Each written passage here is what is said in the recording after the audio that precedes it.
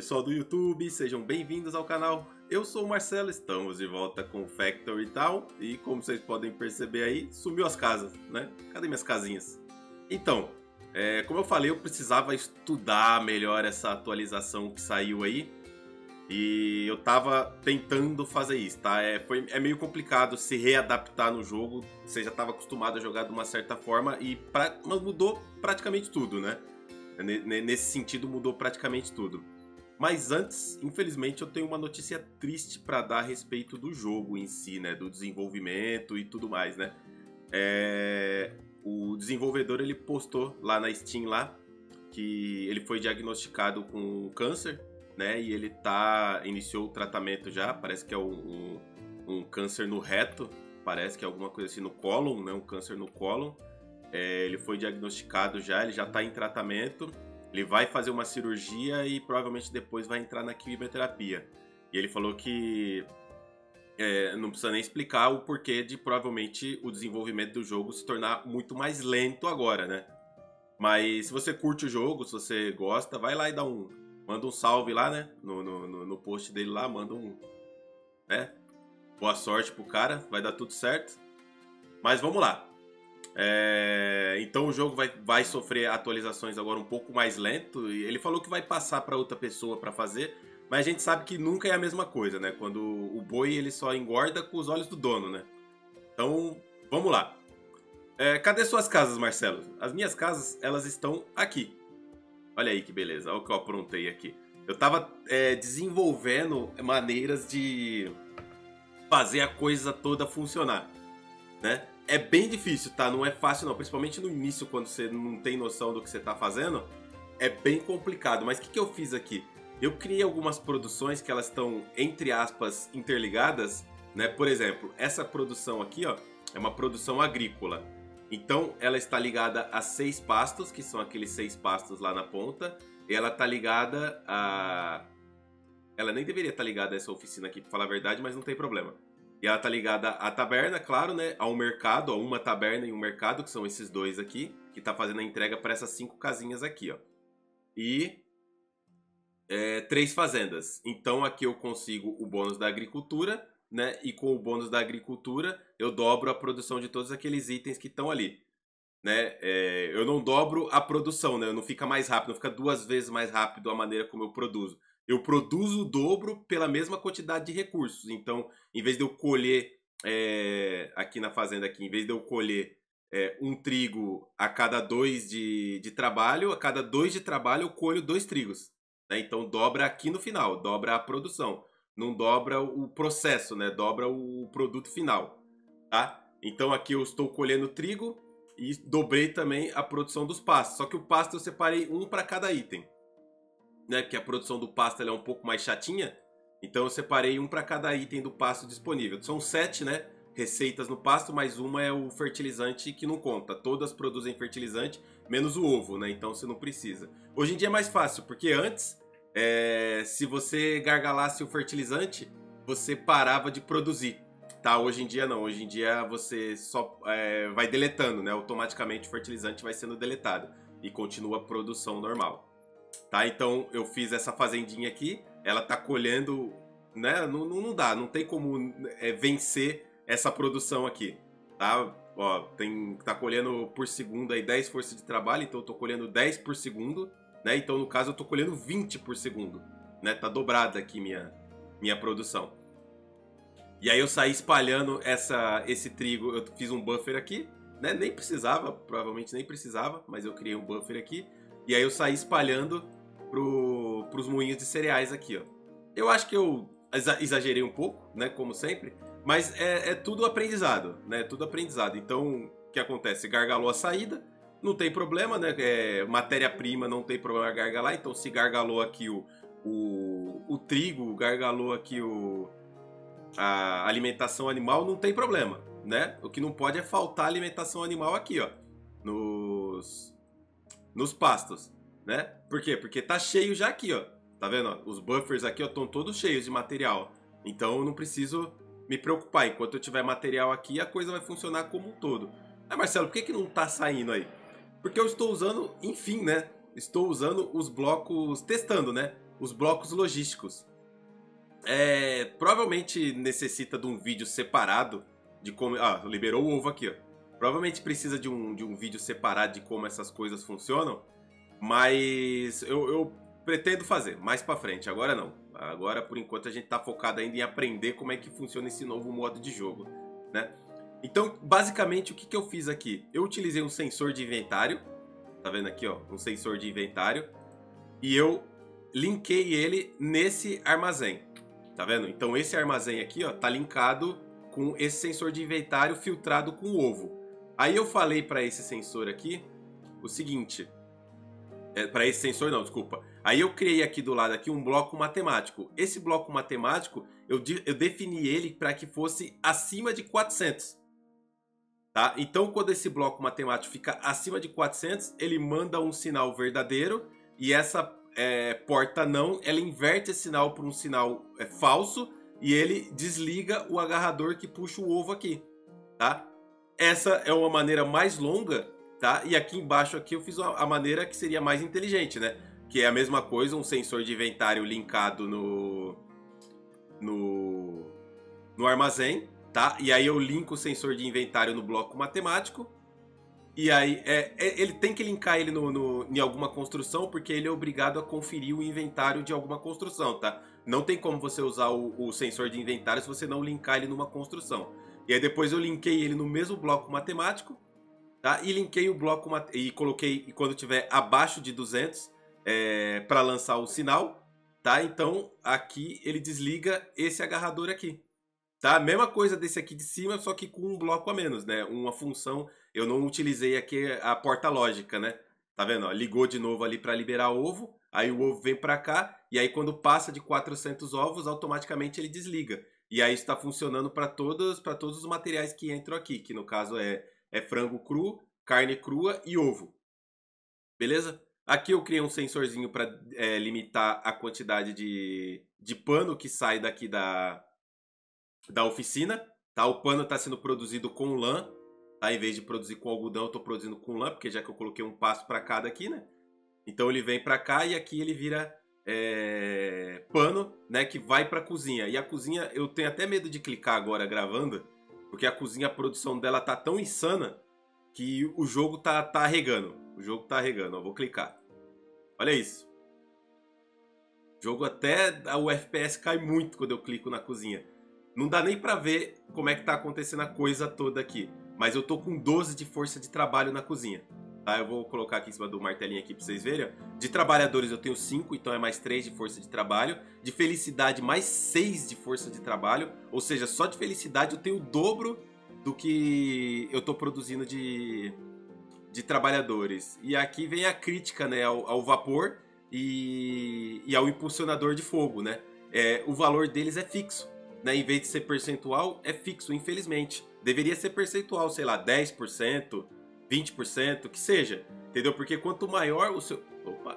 Porque quanto maior o seu bônus aqui de trabalhadores e felicidade, mais o vapor e o, e o bônus de fogo aqui aumentariam também. Tá? Então se eu estivesse produzindo, por exemplo, só o bolo aqui, eu estaria produzindo mais de um bolo por segundo. Só o bolo. Como eu estou produzindo várias coisas ao mesmo tempo, então tá jogando tudo para cá. Na fazendinha aqui, eu apliquei o mesmo conceito que eu apliquei lá no sensor de inventário, só que é o contrário. Aqui, o inventário é o da cozinha que eu estou verificando, tá? Não é de um armazém, é o da cozinha. Então, eu estou verificando. Então, toda vez que tiver menos de 5, ó, menos de 5, deixa eu virar aqui que fica mais fácil, né? Ó, toda vez que tiver menos de 5 açúcar no inventário da cozinha, ele manda o sinal aqui para abrir o agarrador tá? Toda vez que tiver mais de 5, ele desliga, ó. Tá, tá, já já ele vai mandar, ó, tá mandando já. Aí vai começar a entrar o açúcar aqui na cozinha. E aí vai mostrar, tem dois açúcares, ó, açúcares, né? Ó, vai entrar o terceiro. Quarto, quer dizer, né? E agora vai entrar o 5. Quando entrar o 5, tem que ser acima de 5. Olha lá. 4, 5, ó, 5, desligou. Tá vendo? Ele para de mandar açúcar. E aí ele vai mandando conforme vai ligando e desligando os sensores, tá? Os outros é a mesma coisa. Um sensor aqui que praticamente nunca desliga é o de baga. É o sensor de baga, por quê? Porque gasta muita baga na cozinha. Eu nunca tinha parado para reparar isso. Eu nunca tinha parado para reparar isso. é, gasta-se muita baga, então talvez uh, o sensor de baga aqui não valeu a pena. Tá, o ideal aqui para baga aqui era uma entrada direto na cozinha. Tá, uma entrada só para ele. Né, mas por enquanto tá, tá funcionando bem, tá indo bem pra caramba, nossa produção tá legal. E aqui, é, essa outra produção aqui é de arte, tá? Então isso aqui, é essa daqui que tá dobrando a minha produção de, de produtos na cozinha, tá? Pode ver que tá tudo dobrado aqui, ó.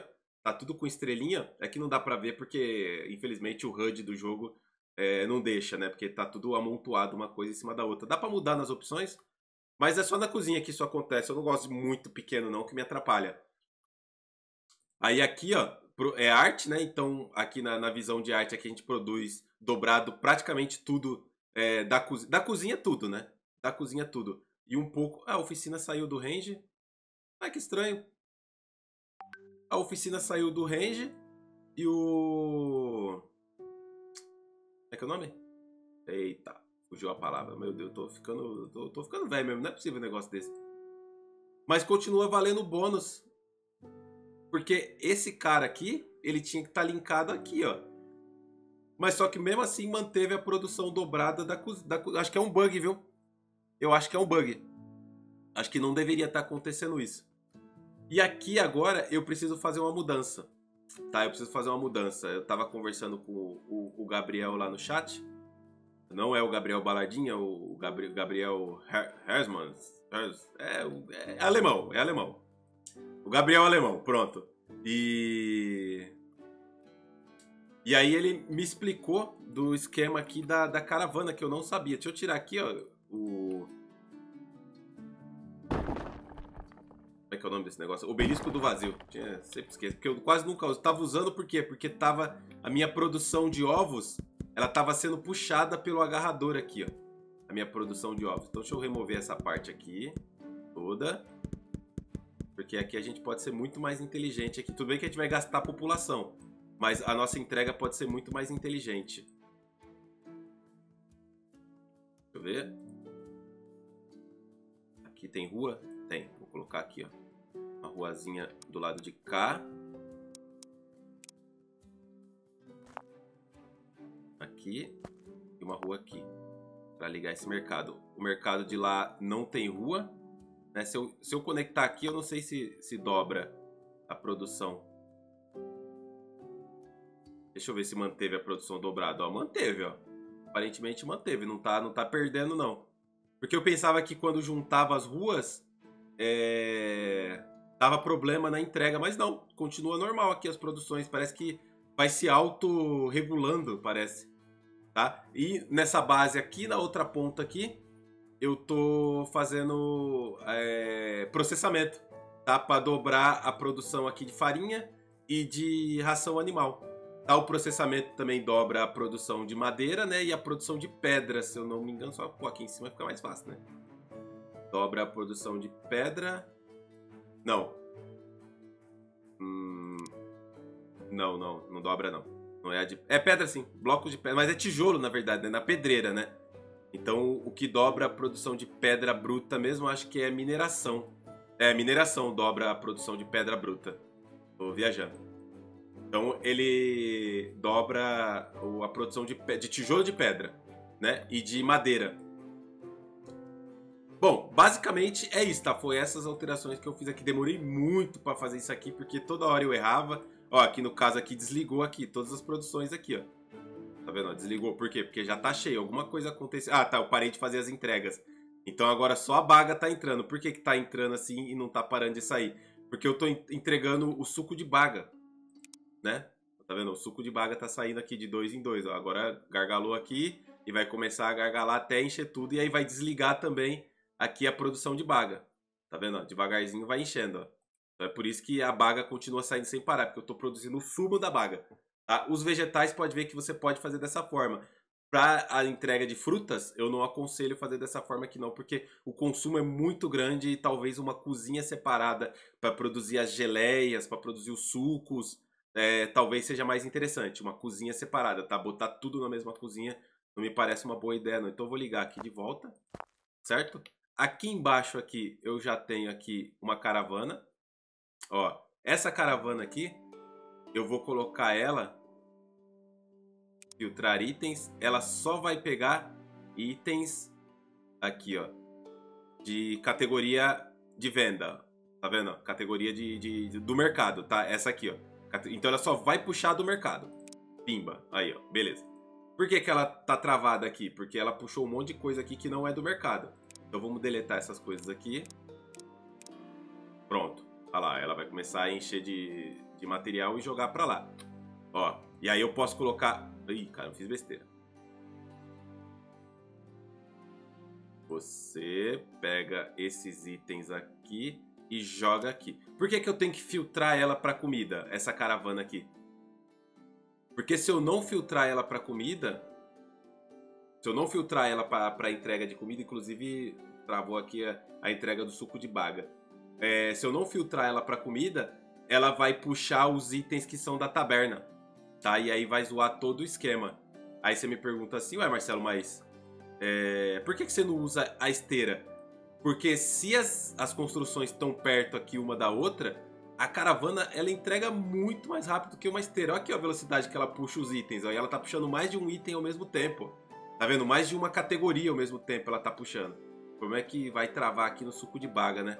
Deixa eu é, colocar aqui mais uma caravana. O único problema disso é que você tá gastando um de população.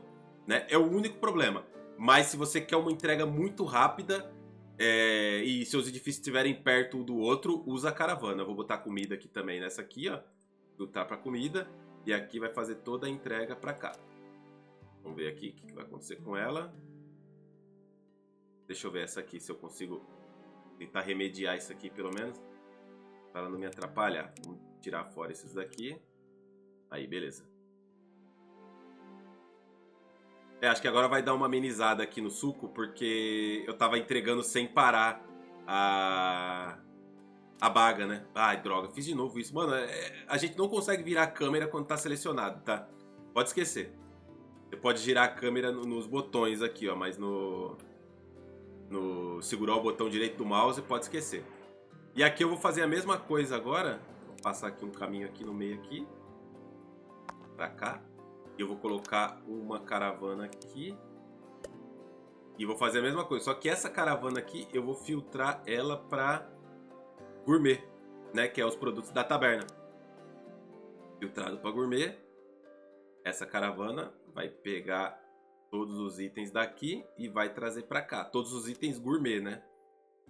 Então, o desenvolvedor, ele já estava fazendo essa parte da caravana é, poder pegar, eh, entregar em mais de um local, tá? Então já estava em desenvolvimento isso, mas por enquanto acho que a gente vai ter que esperar um pouco para isso. Então de qualquer maneira eu tenho que gastar mais uma caravana aqui, filtrar ela para entrega gourmet, né? Aqui, entrega gourmet. Tá? Isso vale muito a pena se estiver perto, tá? Se for longe, aí já começa a ficar um pouco mais complicado. E agora eu vou pegar também os produtos gourmet e vou trazer para cá. É, a outra caravana foi lá por trás. Essa aqui parou porque... Por que, é que essa parou? Ah, agora lascou.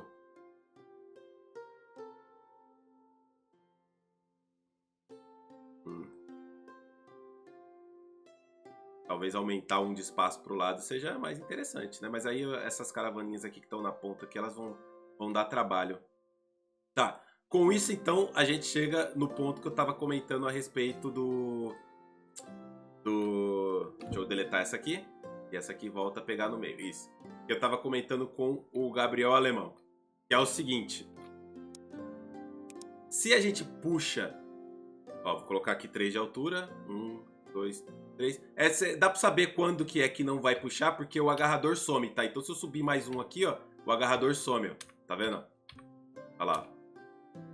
Então, essa altura aqui é a altura máxima. Eu vou segurar o Ctrl, né? Isso aqui foi o João, o João português. Tem o Gabriel alemão e o João português. Que me ensinou se você segurar o Ctrl, a, a esteira ou a calha não perde a altura. Tá? Ela permanece nivelada. E vou colocar isto aqui. Certo? Aí, beleza. Ela vem travada, né? Por padrão, ela vem travada. E o macete todo tá aqui, ó que o Gabriel me ensinou, nunca que eu ia é, aprender isso aqui. É que é o seguinte, quando você entra nessa parte de filtrar item do agarrador, você não tem aquela gama de, de opções lá para escolher só itens de mercado, só itens de. É, de gourmet, só itens de loja comum. Você não tem essa opção aqui, é só que você tem a opção de filtrar item por item. Então, por exemplo, se eu clicar com o botão direito aqui, tá vendo? Eu posso incluir isso aqui no filtro. Olha lá, incluir o peixe no filtro. Então começou a sair o peixe. E aí vou apertar o botão direito aqui e vou incluir a torta de vegetais. Tá inclusa lá também, ó. Tá vendo? Deixa eu colocar aqui um, um impulsionador para dentro da, da construção. Eu vou deixar esse último aqui. Peraí que tem que fechar aqui, que senão... Aí, vou deixar esse último para cá e esses dois para cá. Fiz besteira aqui. Aí certo? Aí a prioridade vai ser de entrega nessa daqui e essa outra aqui vai receber a entrega quando passar algum produto direto para cá. Mas só que a caravana de baixo ali, ela também está entregando aqui, né? Então não tem problema. E aí a gente pode continuar filtrando agora os itens que a gente quer que venha para cá. Só continuar clicando aqui. Olha lá. Clica com o botão direito, cozido vegan, incluir, tá? Sanduíche, ó, incluir. O bolo, ó, incluir tarte de bagas. Na verdade, vou, o bolo não, né? O bolo excluir. Porque o bolo é, ele é produto do. Do. Aqui eu posso pôr nenhum, na verdade. Né? É isso. Aí tira o bolo completamente. O tarte de bagas ele é produto do bolo, né? Então entregar o bolo e o tarte de bagas ao mesmo tempo não é muito inteligente, já que você está produzindo o bolo, né? Deixa eu ver se está faltando. Ah, eu não estou produzindo o bolo porque falta a geleia de maçã. Então bolo sim. Então entra o bolo aqui. Então você vai filtrando com o botão direito. Então aqui incluir. Aí o bolo também sai. O que mais que entrega aqui? Faltou algum produto que eu produzo lá que entrega? O queijo, faltou o queijo. A torta de maçã eu ainda não tenho. Só falta o queijo. Ó, o queijo e as geleias. Então eu, eu consigo entregar tudo tranquilo. Tá? Só filtrando aqui no agarrador aqui, ó. É claro que se tiver muito alta produção, você não consegue filtrar isso no agarrador só, né? E aqui o queijo incluir. Boa, olha lá, tá entregando bolo, queijo, os cozidos, torta, tá entregando tudo possível. Só que eu preciso começar a produzir as geleias, né? E para produzir as geleias eu preciso do, do, do florestador é, produzindo as frutas, né? Maçã, pera, né? essas são as principais frutas aí pra gente continuar o processo. Mas eu preciso da geleia de... para produzir o tarte de bagas, eu preciso da geleia de maçã. Tá vendo? Da geleia de maçã. Que não faz muito sentido, né? Era pra ser a geleia de bagas, né? Mas tudo bem. Aqui, ó, era pra ser essa daqui, ó. Geleia de bagas. Ó. Mas beleza. Bom, eu falei, né? Eu fiz muita coisa nesse meio tempo, mas assim, é, não dava pra eu fazer gravando isso daqui, porque eu demorei muito tempo e foram vários dias, tá? Desde o último episódio que eu gravei, então ia ficar meio estranho fazer isso aqui no timelapse, que eu deletei várias vezes, mudei difícil de lugar, fui e voltei, tá? Fica para uma próxima série, tá? Porque agora é interessante é, reiniciar o jogo e fazer desde o início, ver como é que é a evolução do jogo. Mas eu quero terminar essa série aqui antes. Eu coloquei até um edifício de pesca aqui, ó. Tô pescando aqui uns peixinhos. Dá até para diminuir aqui a quantidade de gente trabalhando aqui, ó, para um. Porque isso aqui produz. É, a produção dele é muito boa, né? Então dá pra, dá diminuir isso aqui tranquilo. Tá gargalado aqui já na cozinha. Tem 20 peixes ali de boa. A gente nem tava consumindo tudo isso. Beleza? E pra gente continuar a evolução, né? Tudo isso aqui eu tô parado na evolução do jogo, tá? Eu fiz tudo isso aqui, mas eu não evoluí nada no jogo. Pra gente continuar a evolução agora, o que, que a gente precisa? A gente precisa aumentar o nível das bases, tá? Essa base aqui agora, é, para aumentar o nível dela, ela precisa de 20 coroas e 20 colares, tá? A produção disso é feita nos produtos especiais, tá? A, desculpa, a venda, não. A produção é feita na no encantador. Então a gente precisa de ferro, cristal de ar e lingote de ouro. Falar em cristal, eu é, copiei e colei. Vamos lá onde eu estava no episódio passado? Que era aqui, né? Que era aqui, onde eu estava no episódio passado. Eu copiei e colei essa configuração aqui para todos os outros, né? Então, aqui é a saída de tubulação, Aqui é a, a tubulação de mana, né? E, e aqui eu fiz a tubulação de vapor. Então eu criei esse mini geradorzinho aqui a vapor para ele suprir a necessidade só das refinarias elementais. Então eu saí colando isso em todos, ó, tá vendo? Tem a mesma configuração aqui, e aí lá no outro, lá na ponta que eu estou produzindo os outros cristais, tem a mesma configuração. Vocês prestarem atenção aqui, eu estava tentando descobrir mais áreas de deserto, mas não encontrei, tá? A única área de deserto que tinha mesmo no mapa era essa aqui. Inclusive eu nem estou puxando ainda essas vagas. Ó, fiz outro aqui. Tá? Então qual que é a ideia aqui? A ideia é a gente produzir coroas e colares, né? Então todos os templos aqui eu já estou armazenando, ó. Todos os templos aqui eu já estou armazenando. Olha lá, tem o cristal de ar aqui, que é o que eu preciso para produzir lá. O ouro que eu tenho nesse mapa aqui, ele tá concentrado aqui. Né? Todo o ouro que eu tenho nesse mapa, ele tá aqui, nessas duas jazidas aqui. A gente pode produzir nosso próprio ouro? Pode, pode produzir nosso próprio ouro. Eu não lembro se eu já liberei, não, eu acho que eu não liberei ainda, mas já já eu vou poder liberar essa parte aí. Mas enquanto a gente não pode produzir nosso próprio ouro, eu vou utilizar essa parte aqui. Então eu vou colocar uma mina aqui uma mina aqui. Ela vai pegar todo esse ouro. Assim. Certo? E aqui eu preciso transformar esse ouro em lingotes, né? Então eu preciso da forja. Preciso dar uma forjinha. Vou colocar ela um pouco mais afastado. Colocar a forja aqui. Isso aqui eu consigo puxar assim. Certo? Isso é ouro, tá? Não é... Não é cereal. E aqui vou selecionar a receita, ó, quatro lingotes de ouro e quatro de combustível, ó, quatro minério de ouro e quatro combustível, eu produzo um lingote de ouro, beleza? Então, vamos lá. Seleciona a receita, não selecionei, né? Lingote de ouro. Agora eu estou produzindo o meu ouro. Só que estou produzindo nada, né? Que eu falta ainda eu puxar aqui a, a, o combustível. Então, aqui tem uma coisa interessante aqui na parte do combustível.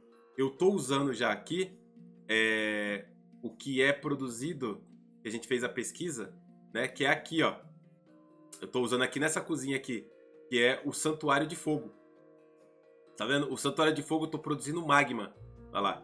Com o magma, tô usando o, o poder do, do mana aqui, tá? Não é de graça não, tá vendo? Tem que recarregar. Então, com esse esquema aqui, eu consigo produzir combustível infinito e, e muito rápido, tá? Porque cada bloco de, de, magma aí, ele te dá mais ou menos aí, é, mais ou menos, não, ele te dá 8 de combustível. Né? Se eu colocar aqui dá pra ver, Aqui, tá vendo? Fertilizante dá 1 de combustível, madeira dá 2, carvão dá 4 e magma dá 8. Aqui vale a pena eu fazer magma? Não vale porque a produção é pequena e, e ainda por cima tem carvão não muito longe. Mas de qualquer maneira também tem carvão aqui, ó tem combustível aqui, tá? Nessa área aqui. Então eu posso colocar alguém para pegar madeira e trazer para cá, eu posso pôr um florestador também para pôr aqui. Só que aí se eu colocar o santuário, eu não preciso gastar trabalhadores, tá? Eu só vou gastar carregador e o carregador, né, só gasta dinheiro. E dinheiro a gente tem de sobra, né? Vocês podem ver que eu alisei aqui, a maior parte do mapa aqui tá alisado já. Beleza? Então esse episódio aqui foi mais para mostrar para vocês é, todas as alterações que eu fiz aqui, que eu tô, eu tô me esforçando aqui para tentar entender melhor como funcionam essas novas mecânicas. Eu já tô bem mais inteirado com essas, com essas novas mecânicas, né? E aí no próximo episódio a gente já entra de cabeça aí para continuar evoluindo a base e o restante das coisas que faltam, né? Aqui eu não vou, não vou continuar não, que a gente vai demorar muito para fazer a parte aqui do ouro e tudo mais, beleza? A gente se vê no próximo episódio. Valeu. Falou.